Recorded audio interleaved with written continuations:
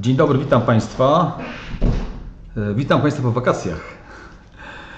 E, Co prawda nie, nie jesteśmy na uczelni ani w szkole, ale wakacje myślałem, że będę bardziej aktywny e, przed ekranami, ale jakoś tak się złożyło, że, że byłem mniej aktywny. Proszę Państwa, temat związany ze stresem to jest temat, który dotyczy każdego z nas nie tylko młodzieży, która i dzieci poszli, poszły do szkoły, ale też rodziców, dziadków. Zaraz będą studenci. No ale oczywiście stres nie jest związany tylko ze szkołą, ale także z pracą i innymi czynnikami. Co to jest ten stres? Yy, Stres, proszę Państwa, to jest reakcja organizmu na jakieś wydarzenie lub emocje, która mobilizuje nas do działania. Czy to jest coś złego? No nie zawsze. Gdybyśmy nie byli zmobilizowani, to byśmy nie działali tak, jak działać powinniśmy. Zatem nie jest to jakaś rzecz, która jest jednoznacznie zła. Ale należy pamiętać o tym, że y, jeżeli ta mobilizacja jest cały czas, bądź jest bardzo silna, wtedy sobie nie radzimy ze stresem i z jego skutkami. Y, Skąd się ten stres w ogóle wziął w naszym organizmie? Na czym, skąd my go czerpiemy? Więc pamiętajcie Państwo, że już mówiłem o tym przypadku leczenia e, nadwagi i otyłości.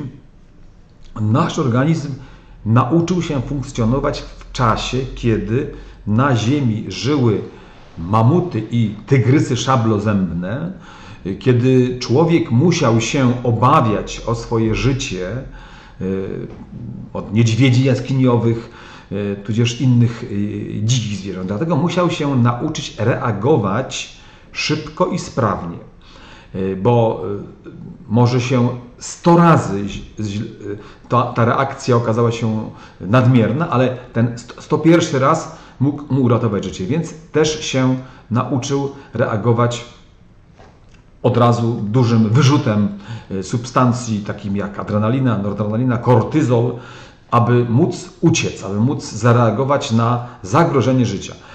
I konsekwencją tego są też inne y, objawy w naszym ciele, takie jak y, jakieś podwyższenie ciśnienia, szybsze, szybsze bicie serca, przy- przy- przy- przyspieszony oddech, y, a przy bardzo dużym stresie możemy, może dojść nawet do omdleń. Po prostu wyłączamy nasz organizm z funkcjonowania.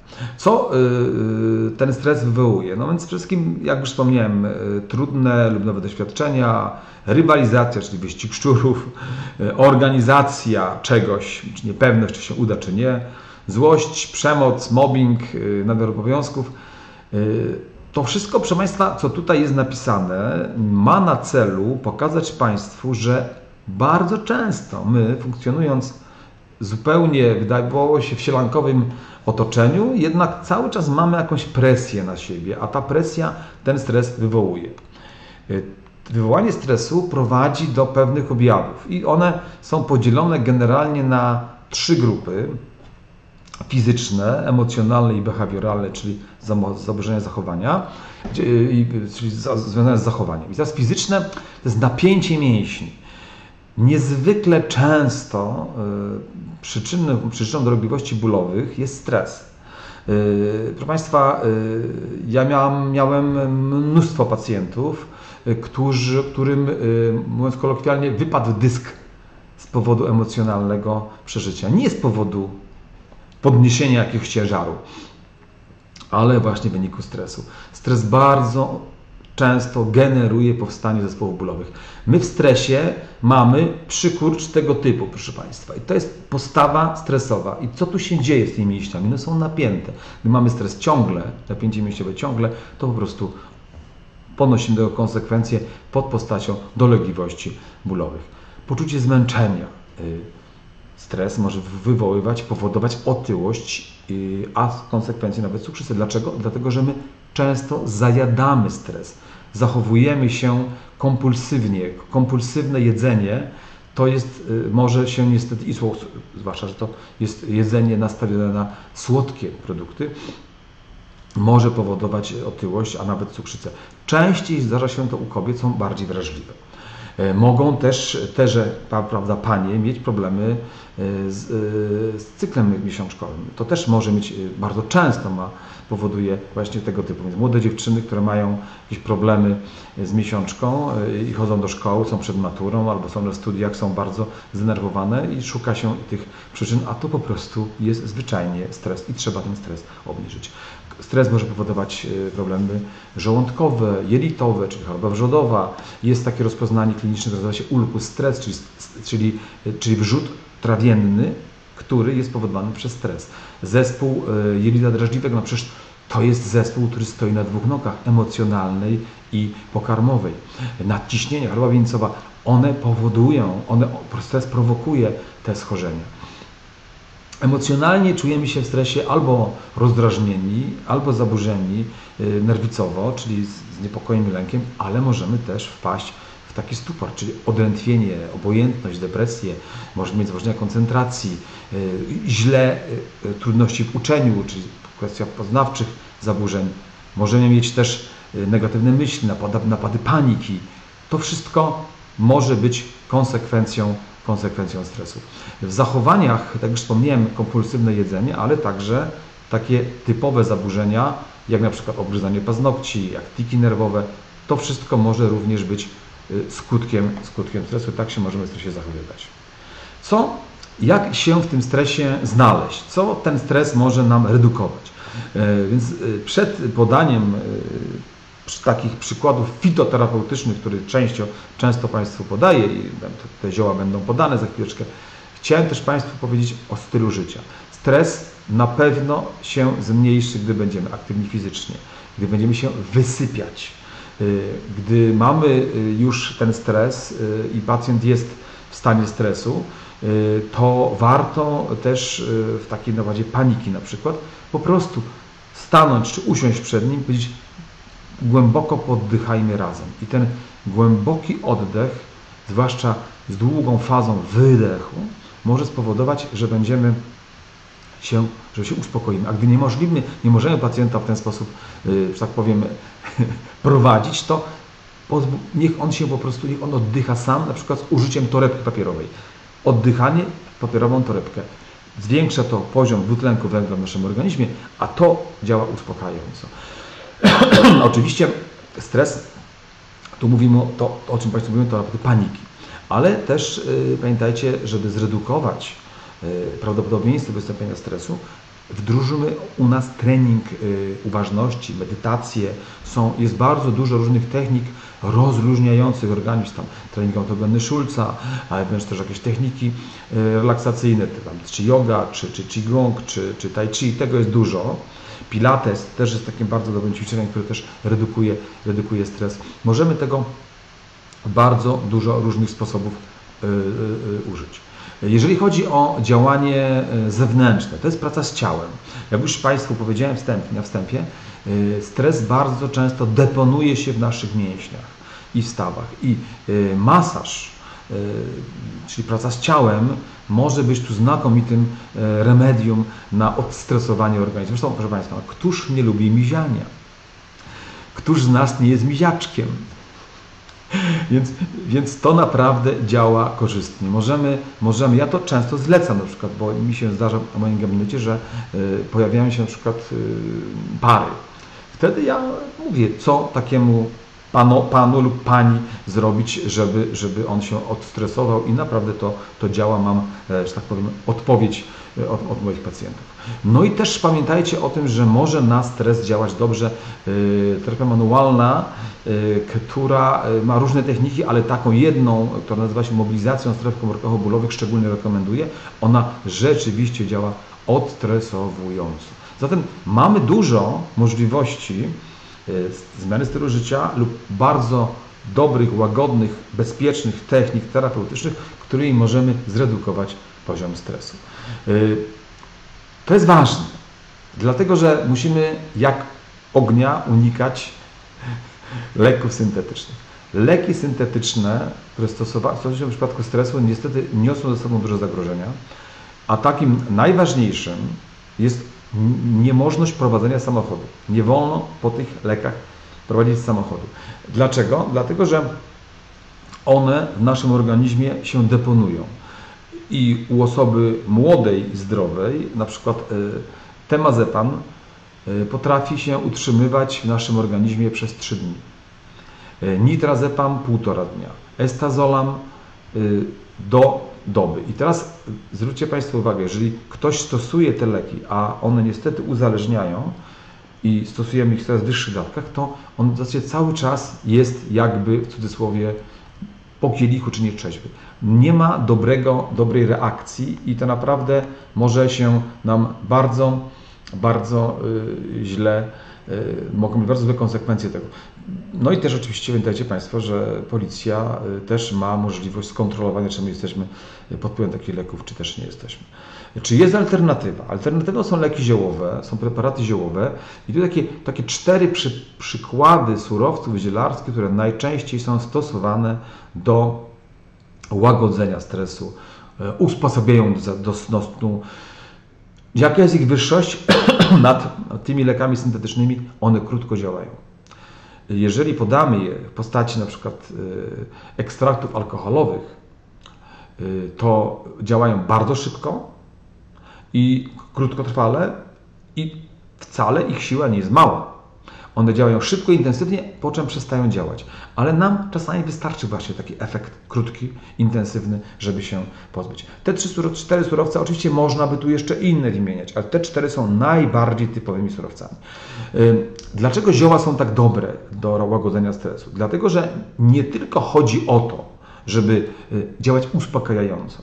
Chodzi też o to, żeby działać rozkurczająco na mięśnie gładkie czyli te, które są w naszych jelitach, y, w naszym y, układzie oddechowym, które y, powodują, że relaksacja tych mięśni gładkich powoduje, że my się uspokajamy nie tylko poprzez działanie na sam, na sam mózg, ale także na ciało, które, które się rozluźnia.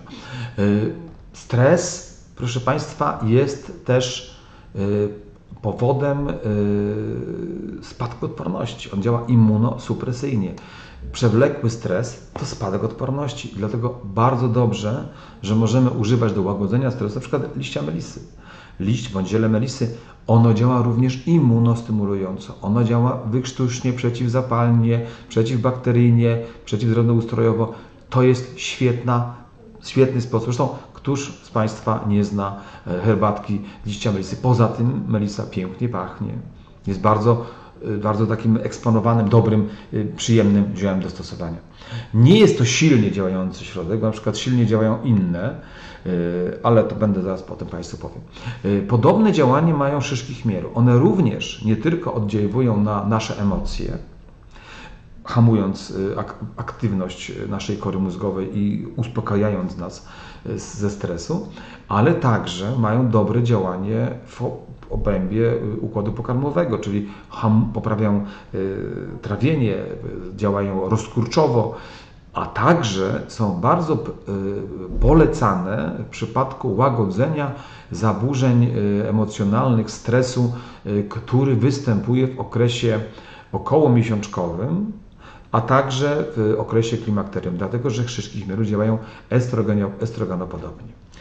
Kolejnym surowcem jest korzeń kozłka i to jest taka roślina, która działa silnie. Ono jest, ona, to jest silnie działający środek i z tych trzech on działa najsilniej uspokajająco yy, i także jak poprzednie dwa działa również na mięśnie gładkie, rozluźniając te mięśnie.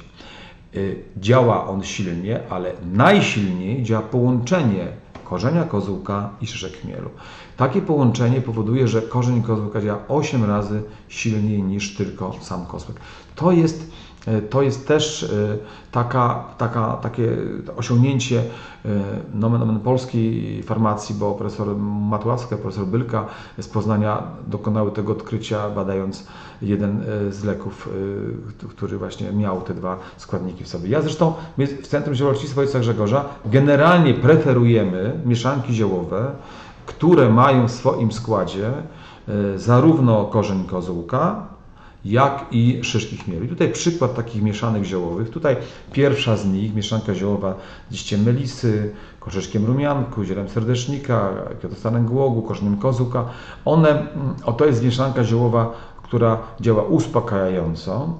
E, można, jeżeli ktoś nie chce sobie parzyć ziół, e, to można stosować na przykład krople ziołowe. I tutaj taki przykład takiej receptury e, bardzo podobna, czyli liść melisy, szyszki chmielu, koszczyk rumianku, nalewka serdecznika i korzeń kozłka. I to, są, I to są preparaty, to są surowce zielarskie, które na pewno będą dobrze, skutecznie działać. Tutaj niestety jest błąd w tych kroplach, jakoś nie zauważyłem, nie ma tutaj korzenia kozłka, a jest w tej recepturze. Także trzeba dodać również korzeń kozłka.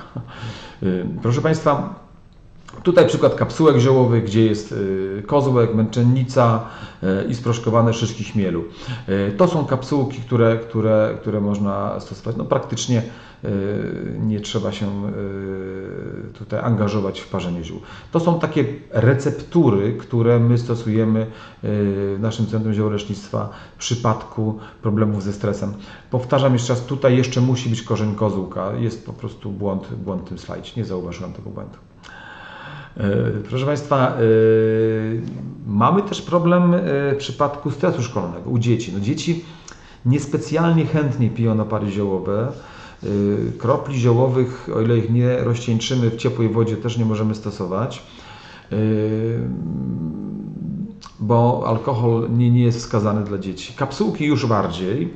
Natomiast mamy taką alternatywę, y, możemy też użyć na przykład jako podłoża do zrobienia takiego preparatu miód pszczeli. I my na przykład tutaj mamy taką recepturę, którą też używamy w naszym centrum, miód głogowo-melisowy, bonimel głogowo-melisowy, czyli miód pszczeli, odrobinę wody, wyciąg z liścia melisy lekarskiej, wyciąg z fetostanu głogu, olejek. To działa uspokajająco.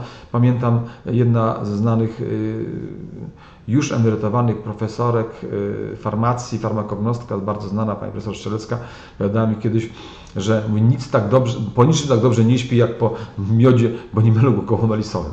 Także jest to bardzo fajne połączenie, możemy sami nawet sobie zrobić w domu bez żadnego problemu, jeżeli, jeżeli tylko takie, takie mamy e, składniki. E, jest też taki syrop, który my używamy, też miód pszczeli, liść korzeń kozłów, kaszuszki chmielu, rumianek, lipa, taka dawka na, na, jed, na jedną porcję, na jedną porcję taką. Oczywiście możemy zrobić sobie na wiele porcji. Także możemy też zrobić tego typu działanie. Zwłaszcza, że miód pszczeli również e, uspokaja i również usposabia do, do snu. Takie syropy i takie miody na, na, bazie, na bazie właśnie miodu e, i ekstraktów ziołowych. E, możemy jeszcze odwołać się do następnych działań. Możemy na przykład zastosować aromatoterapię. I tu przykład takiej receptury, która działa między innymi relaksująco. Ona jest tak skomponowana, żeby bardzo przyjemnie pachniała i większość osób, które ten zapach czuje, uważa go za przyjemny. I tutaj mamy zarówno surowce zielarskie o działaniu uspokajającym, szczególnie lawenda tutaj jest taką, takim składnikiem, jak i surowce zielarskie o działaniu przeciwwirusowym, przeciwbakteryjnym, lekko wykrztuśnym. Taki olej eteryczny w przypadku na przykład y, jesienno-zimowych Y, chorób różnego rodzaju infekcyjnych może być używany, czy to do aromatyzacji, do kominka mm, aromaterapeutycznego, czy do kąpieli, czy do masażu. Wtedy trzeba połączyć e, taki, takie preparaty, takie surowce zielarskie z, z e, nośnikiem, czyli olejem nośnikowym przykład z pestek winogron czy migdałowym i to można też używać do, do masażu. Y, to jest alternatywa dla, dla takiego działania i to można, że tak powiem, jak się takie coś włączy w sypialni, to raz, że będziemy lepiej spać, a dwa, że prawdopodobnie będzie mi trudniej się zarazić różnymi infekcjami, które nas niewątpliwie będą chciały dopaść w okresie jesienno-zimowym. Y, kolejna sprawa, o której chciałem Państwu powiedzieć, to to, że mm, My w czasie stresu mamy podwyższony poziom niektórych hormonów. Noradrenalina, adrenalina też Państwo wiecie, ale też chodzi o kortyzol, mniej może postrzegany przez większość społeczeństwa jako hormon stresu, ale jest to hormon stresu e, i e, on, jego poziom się podwyższa. I jeżeli mamy podwyższony poziom kortyzolu, mamy większą skłonność do spożywania pokarmów i to pokarmów słodkich. Dlatego też, aby obniżyć poziom kortyzolu, warto się odwołać do ziół o działaniu adaptogennym. Kortyzol, tu macie Państwo taki, taką, mm, taki wykres, gdzie pokazane jest, kiedy, jak ten poziom kortyzolu się kształtuje. Ta czarna linia to jest poziom kortyzolu w ciągu doby. On ma taką, takie, taką sinusoidalną fazę. Najwięcej jest go w godzinach rannych, e, potem spada i znowu się podnosi w godzinach rannych. E, niestety, gdy żyjemy w stresie, to ta linia jest wysoka cały czas i to jest dla nas niedobre. To powoduje, że, że jesteśmy zmobilizowani bez przerwy i to nie daje dobrego, e, dobrego e, oddziaływania na nasz organizm. Co nam ten poziom kortyzolu obniży? E, no, jest takie zioło znane pod nazwą, nie systematycznie nazywa się korzeń witanii ospałej, ale znane jest bardziej pod nazwą hinduską ashwagandha. Rzeczywiście ono obniża poziom kortyzolu tu jest receptura tego preparatu, który my stosujemy w naszym Centrum Ziołolecznictwa, e, gdzie jest korzeń e, aszwagandy, ekstrakt korzenia tarczycy bajkalskiej i korzenia żeńszenia. I to jest środek, który nie powoduje działania wprost uspokajającego, ale podwyższa naszą zdolność do przyjmowania stresu, czyli my, nasz układ, układ nerwowy jest mniej podatny na czynniki e, stresującego i, e, i tego typu e, receptura jest po pierwsze bezpieczna, po drugie może nas przed tym stresem ochronić.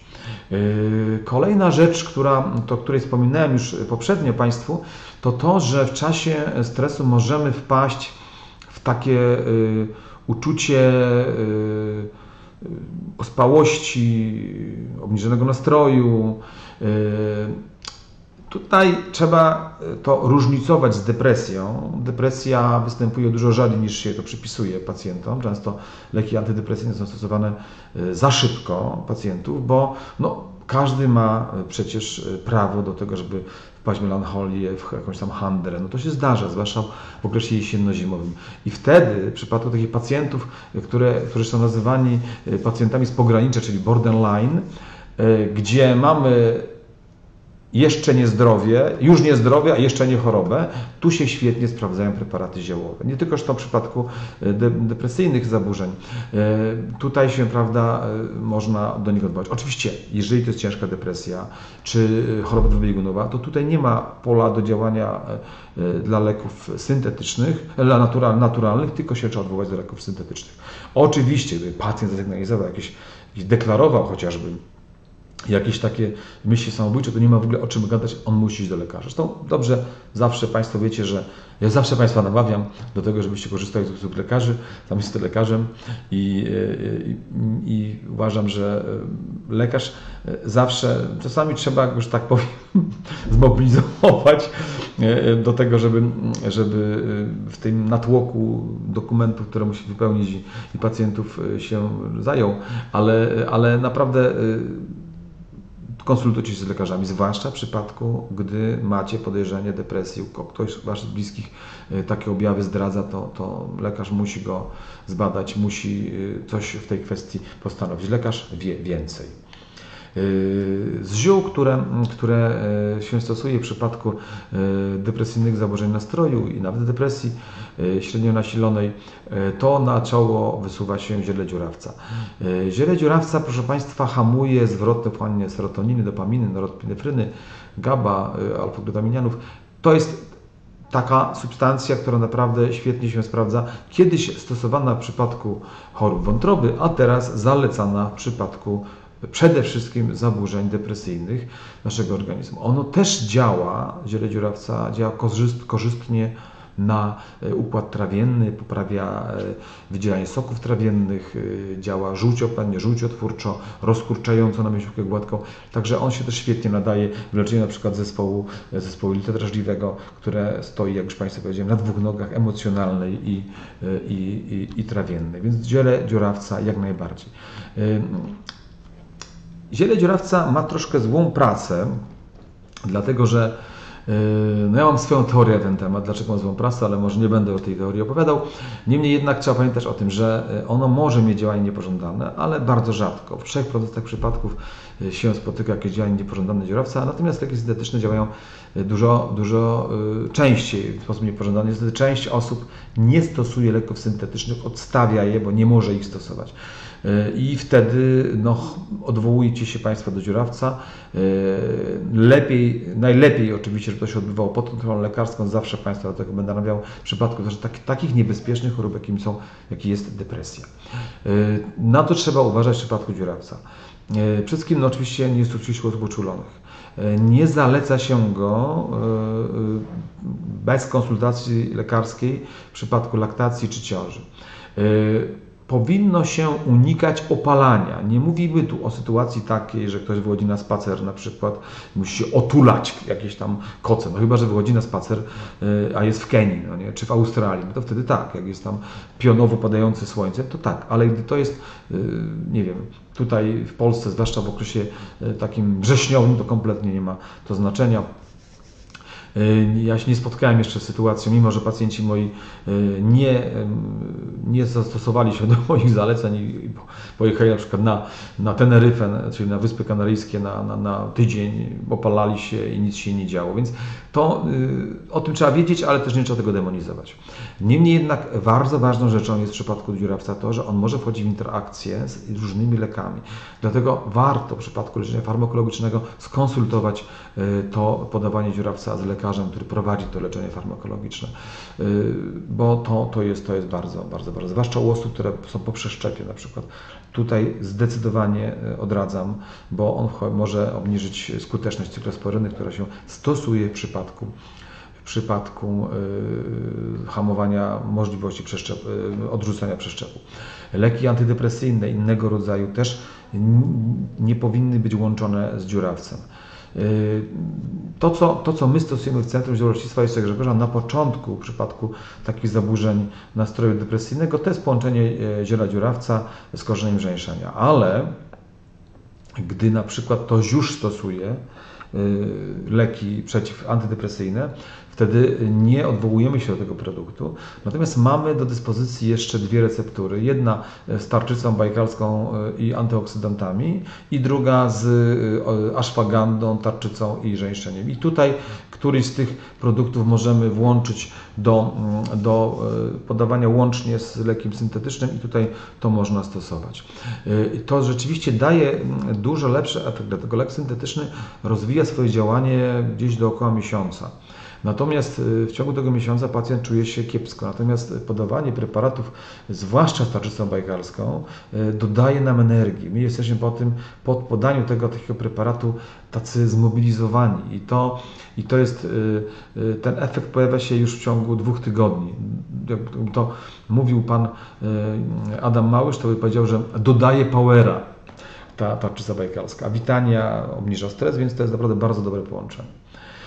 Y, proszę Państwa, wracając do stresu i suplementacji w stresie, co tutaj, o czym trzeba pamiętać? Trzeba pamiętać o tym, że w stresie mamy większe zapotrzebowanie na witaminę C. Skąd my to wiemy, że takie zapotrzebowanie jest większe? Otóż wiemy ze świata zwierząt. Człowiek i małpy człowiekokształtny nie wytwarzają witaminy C endogennie, czyli w organizmie swoim. Natomiast potrzebują tej witaminy C. Natomiast y, y, zwierzęta, y, na przykład królik, tygrys, czy też jest cała masa zwierząt, produkuje endogennie witaminę C. I cóż okazało się? Okazało się, proszę Państwa, że ilość produkowanej witaminy C w przypadku królika poddawanego stresowi, w badaniach farmakologicznych to zrobiono, jest ponad dwudziestokrotnie większa. Czyli on produkuje 20 razy więcej witaminy C niż w czasie, gdy on śpi. Czyli jest jakaś potrzeba stosowania tej witaminy C. Zatem, zatem y, należy, należy sobie ją y, zastosować. Teraz pytanie, y, ile tej witaminy C zastosować? No, pamiętam jak profesor Ożarowski, który był takim zwolennikiem stosowania witaminy C, pytałem się go, ile, jak, jak, jaką pan dawkę zaleca? A on mówi, ja zalecam stosowanie takiej metody, to nazywa się próg biegunkowy. Jeżeli ja widzę, że mój stolec się rozluźnia, no to znaczy, że to przesadziłem troszeczkę z witaminą C, więc obniżano dawkę. Być może, że y, przy, u osoby zdrowej taki, taka potrzeba witaminy C to jest 500 mg, 1000, ale gdy jesteśmy w stresie albo chorujemy, wtedy potrzebujemy, potrzebujemy tej witaminy C więcej. Ważne jest, żeby podawać ją w porcjach niskich, nie dawać od razu 2 gramów czy gramu, na, grama nawet, tylko, bo to się nie wchłonie, to, to, to mamy, nie wchłonie nam się część taka duża, organizm nie przyswoi. Trzeba stosować dawki niskie, na przykład 500 mg jest taką optymalną dawką do nasycenia się witaminą C, wtedy największa porcja tej witaminy C trafia do naszego organizmu. E, tutaj mamy przykład takiej receptury, którą my stosujemy u nas w, w, w Centrum Ojca Grzegorza i to jest, i to jest witamina C, skład, którą, w której wchodzi, e, w której wchodzi ascorbinian sodu, czyli, czyli e, witamina, czyli, czyli taka substancja, która jest, e, ma pH 6, bo kwas askorbinowy będzie miał, askorbinowy będzie miał pH 2, więc może nam podrażyć błonę śródową żołądka. A w przypadku, gdy mamy, gdy mamy taką e, tutaj właśnie mm, dawkę, no to, e, to tak, taką substancję, to my tego podrażnienia nie będziemy czuli. E, poza tym on ma jakość farmaceutyczną. Ważne, żeby dodać też do tego ekstrakty z naturalnych produktów, takich jak róża, jak, jak acerola, jak hibiskus. Te substancje naturalne, które wchodzą w skład witaminy C, E, również tam, e, które też mają witaminę C w sobie, a dodają jeszcze innych substancji e, prozdrowotnych, powodują, że ten, ten, ta witamina C ma lepszy skład. My zalecamy najczęściej 500 mg na dobę, ale można też stosować większe dawki, oczywiście w przypadku infekcji, przy przypadku dużego stresu. Następnie witaminy z grupy B również są zalecane do suplementacji w przypadku przewlekłego stresu, dlatego że zwróćcie Państwo uwagę, jakie są objawy niedoboru witaminy grupy B. Depresja, chwiejność emocjonalna, bóle głowy, rozdrażnienie, zmniejszona zdolność do radzenia sobie ze stresem to właśnie są skutki niedoboru witaminy z grupy B, dlatego warto takie witaminy suplementować w przypadku w przypadku, gdy mamy, gdy mamy taką, taką sytuację stresową. Tu taka receptura, którą my często używamy naszym Centrum Zielonnictwa Ojca Grzegorza. E, tu są duże dawki witaminy z, z, grupy e, B, zwłaszcza wysoka dawka, bardzo wysoka jest e, B12. Dlaczego jest taka wysoka? Dlatego, że witamina B12 źle się wchłania z przewodu pokarmowego w podaniu jako, czy lekcie jako suplement diety, dlatego trzeba dostosować, dostosować tą dawkę do, do, do wchłanialności, dlatego też dużo większa dawka niż w przypadku, gdyby to się na przykład z czerwonego mięsa brało. Zresztą taka witaminy z B, grupy B też są zalecane osobom, które, zwłaszcza B12, które nie spożywają, nie spożywają mięsa. E, kolejna sprawa to e, warto też uzupełnić taką, tam były uredyna, kwas alfa-lipanowy i inozytol, one również dobrze działają na e, centralny układ nerwowy, co się przyczynia do tego, że nas, nastrój się poprawia i emocje są na niższym poziomie. Także selen, no też jest taką substancją, którą się zaleca w przypadku, w przypadku suplementacji, w przypadku stresu. Jeszcze jedna ważna rzecz, o której Państwu chciałem powiedzieć, to to, że w czasie, e, gdy e, jesteśmy w stresie, to e, mam spada odporność. I tutaj w tym schemacie pokazałem Państwu różne czynniki, które powodują spadek odporności, ale na górze, na, samym, na samej górze jest stres. Stres, który, który bardzo obniża odporność, zwłaszcza to jest przewlekły i on może wygenerować nie tylko infekcje, ale też inne ciężkie choroby. Zatem u osób, które mają przewlekły stres albo przeszły jakiś, jakiś szok emocjonalny, warto się też odwołać do, do takich preparatów, które stymulują odporność. Ja więcej o tym mówiłem w moim wystąpieniu dotyczącym odporności na stronie internetowej, na stronie, na, na Facebooku, na profilu facebookowym znajdziecie, znajdziecie Państwo te filmy. Możecie Państwo się do nich cofnąć, żeby się więcej o tym dowiedzieć. I tutaj dwie takie receptury, które my używamy w przypadku w przypadku, gdy mamy problem z odpornością. Teraz właśnie jest taki czas, kiedy zalecałem pacjentom pierwszą serię tych dwóch preparatów. Jeden to jest, składa się z ekstraktu z jeżówki purpurowej, melisy, rumianku, owoców róży. To jest wszystko rozpuszczone w miodzie, y, taki syrop miodowy, a drugi preparat to kapsułki ziołowe, gdzie jest pyłek pszczeli, propolis i liofilizowany sok z miąższu aloesu. E, Ten syrop stosuje się przez 7 dni, potem robi się 3 tygodnie przerwy i znowu 7 dni. Kapsułki stosuje się przez e, 15 dni, zrobi się 2-3 tygodnie przerwy i stosuje się ponownie 15 dni. Takie, taki sposób podawania e, jest e, e, no, największe, najlepsze efekty widzimy właśnie po, takim, po takiej ordynacji e, i to naprawdę działa świetnie. Zalecamy go najczęściej na przełomie, te dwa preparaty na przełomie e, września i października, pierwsza seria, e, a potem na przełomie lutego i marca, bo wtedy jest taki spadek odporności. Przedwiośnie jest takim dość newralgicznym dla nas czasem i wtedy częściej zapadamy na infekcje. E, Proszę Państwa, bardzo dziękuję za uwagę. Gdyby ktoś z Państwa chciał więcej się dowiedzieć na temat ziołolecznictwa, nie tylko w przypadku stresu, ale też innych schorzeń, to odsyłam Państwa do dwóch książek.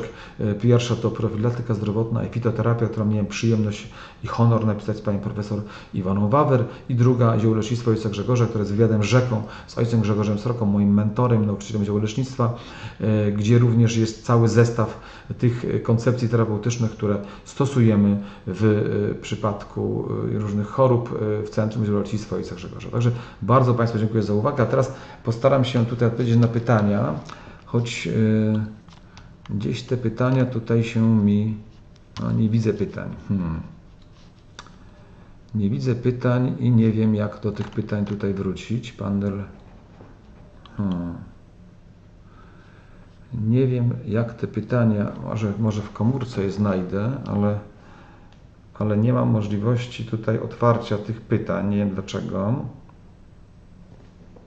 Hmm, nie znajdę. Yy... Pewnie Państwo zadaliście pytania, ale nie wiem dlaczego one tutaj nie pojawiają się u mnie. Jeszcze chwileczkę, proszę o cierpliwość, ale niestety nie mam tutaj pytań. Mm, Proszę chwileczkę poczekać, ja się muszę zorientować co do tych pytań.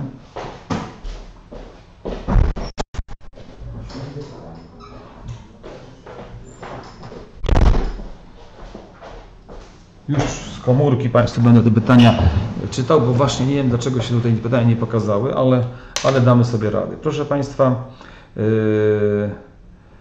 yy, może zacznę od początku. Te pytania. mm,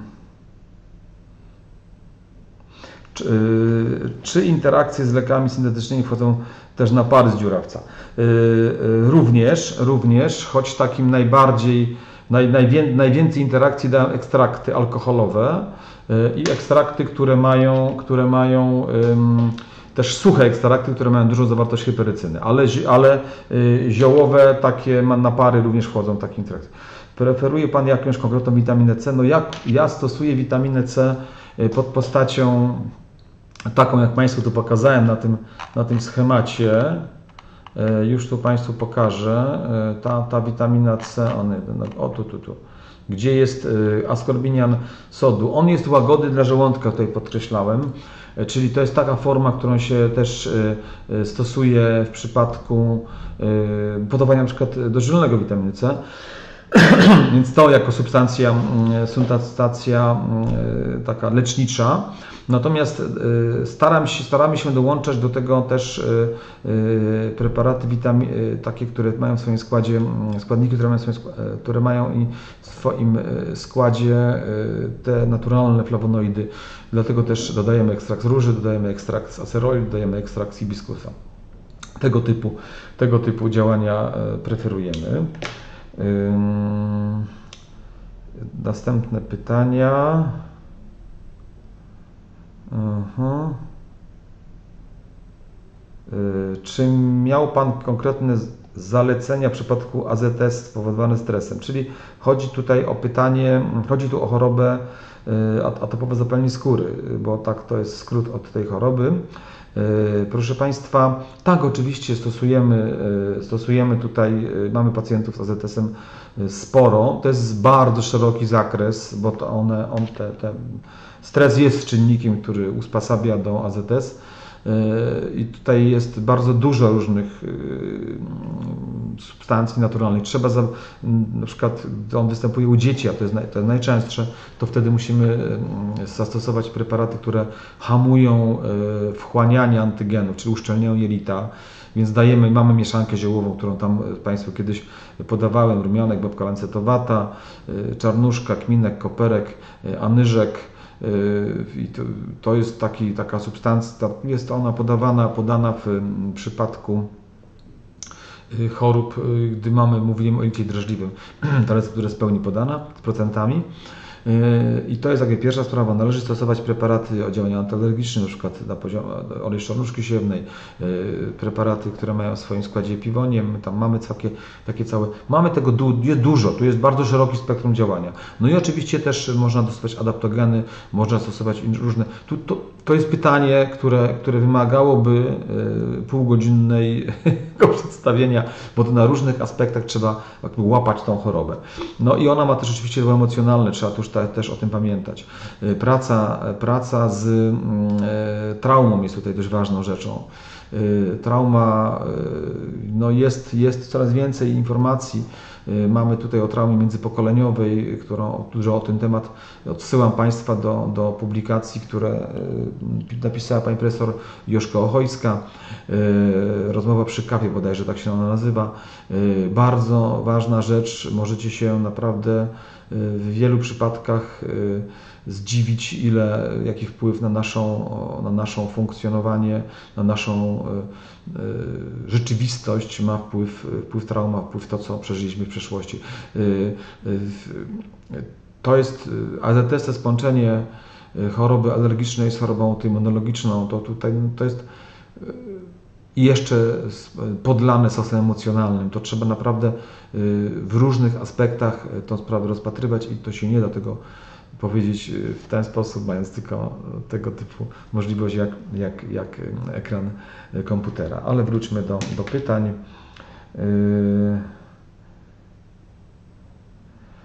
Czy stosowanie leków hormonalnych jest przeciwwskazane przy stosowaniu ziół? Nie, zależy o jakich hormonalnych, hormonalnych lekach Pani mówi, ale generalnie nie ma to tutaj, oczywiście mogą być interakcje między lekami hormonalnymi, na przykład antykoncepcyjnymi środkami, bo tam one na przykład mogą być y, w przypadku pewnych substancji naturalnych y, gorzej, y, gorzej nie mieć tego efektu, który się oczekuje. Natomiast generalnie na przykład leki grupy glikokortykosteroidów można łączyć z lekami ziołowymi, czy leki stosowane w przypadku niedoczynności tarczycy, jak najbardziej. To takie najczęstsze leki hormonalne, które się stosuje, czy też w przypadku ginekologii również można łączyć to, to te leki syntetyczne z lekami, z lekami naturalnymi. Oczywiście to wszystko wymaga indywidualnego, indywidualnego podejścia. Wiedzieć trzeba dokładnie o, o jaki lek chodzi. I tyle w zasadzie z pytań, które się u nas pojawiły. Jeżeli Państwa, Państwo macie jakieś, jakieś mm, zapytania, a nie udało Wam się w tej chwili tego pytania, tego pytania zadać, to proszę uprzejmie o, o nadsyłanie. Postaramy się odpowiedzieć na te pytania drogą y, elektroniczną, y, mailową. Bardzo Państwu dziękuję za uwagę i do miłego zobaczenia.